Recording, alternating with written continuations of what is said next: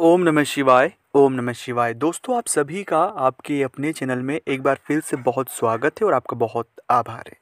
क्या आप पर भी भगवान की कृपा है? अगर है तो उसके क्या संकेत हैं? और अगर नहीं है तो हमें क्या करना चाहिए? क्योंकि भगवान की कृपा इस युग में सबसे ज़्यादा महत्वपूर्ण विषय है दोस्तों। उसके लिए हम कई सारे प्रयत्न करते हैं, कई सारे जप करते हैं, कई सारे तप करते हैं, कई सारे उपाय करते हैं। लेकिन क्या हम पर ईश्वर की कृपा है या नहीं, ये हमें अभी भी पता नहीं और हमारे कई बार काम नहीं बनते। हम बड़े विचलित होते हैं, मन अशांत होता है। हम करते कुछ है, होता कुछ है, काम में मन नहीं लगता और न जाने कितनी सारी परेशानियों के साथ हम हमारे जीवन को जीते हैं। तो इस वीडियो के माध्यम से जानिए कि आप पर भगवान की कृपा है और उसके क्या संकेत हैं और अगर नहीं है तो हम क्या करें? जिससे हम हम पर, हमारे परिवार पर भगवान की कृपा हमेशा बनी रहे दोस्तों। तो वीडियो को थोड़ा सा आगे बढ़ाऊँ, उससे पहले एक छोटा सा निवेदन है आप सभी से कि चैनल को अगर अभी तक आपने सब्सक्राइब नहीं किया है, चैनल से आप नहीं जुड़े हैं, सबसे पहले आप चैनल को सब्सक्राइब करें, कमेंट्स में भोलेनाथ का नाम लिखें और दोस्तों अगर अपनी कुंडली का एनालिसिस हमसे करवाना चाहते हैं तो स्क्रीन के ऊपर नंबर चल ही रहे आप व्हाट्सएप पर अपॉइंटमेंट ले।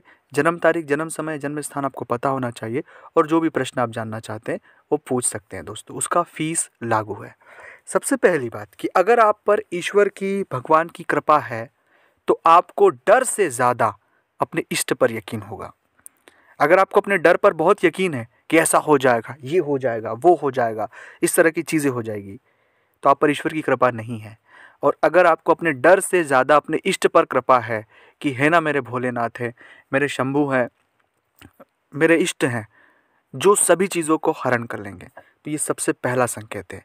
और दूसरा और सबसे ज़्यादा महत्वपूर्ण संकेत है कि जब भी कभी हम व्यथित हों या हमारा मन विचलित हो, हमें परेशान हो और हम हमारे गुरु मंत्र का जाप कर ले, हमारे इष्ट मंत्र का जाप कर ले, उस जाप करने के बाद हमें बहुत ही रिलैक्स बहुत ही अच्छा महसूस होता है तो हम पर ईश्वर की कृपा है। ये दूसरा संकेत है।